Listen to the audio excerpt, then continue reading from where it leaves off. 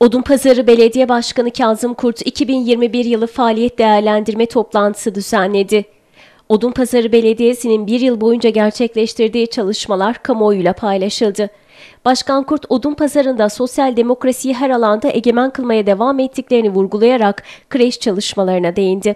31 Mart seçimleri öncesinde çocuklarımızın sağlıklı bir çevrede, eşit şartlarda, özgüveni yüksek bireyler olarak yetişebilmesi için hemşerilerimize kreş sözü vermiştik. Biz eşit, kaliteli, bilimsel ve layık bir okul öncesi eğitimin her çocuğun hakkı olduğunu savunuyoruz.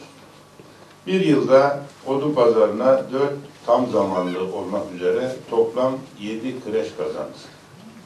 Bu kapsamda Osman Gazi Mahallesi Kreş ve Gündüz Bakım Evi, Nalan Kaya Odun Pazarı Gündüz e, Oyun Pazarı Gündüz Bakım Evi ve Kreşini, Emek Mahallemizde Odun Pazarı Belediyesi Hacı Zeynep Eldem Kreşi, Gökmeydan Mahallemizde de Odun Pazarı Belediyesi İlhan Bingöl Kreşini kazandı.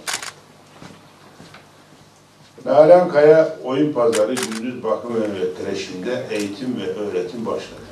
Başkan Kurt, yeşil alan çalışmaları ve Vadişehir Mahallesi'nde yeni açtıkları sağlık çalışanları parkına da değindi.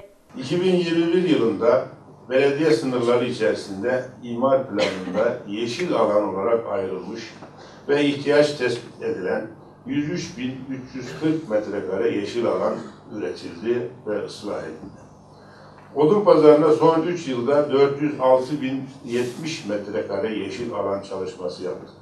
Pandemi döneminde hayatını kaybeden sağlık emekçilerinin adını yaşatmak ve bu süreçte büyük özveriyle çalışan sağlık emekçilerine olan vefa borcunu ödemek için Vadişehir mahallemize sağlık çalışanlarına saygı parkı yaptık.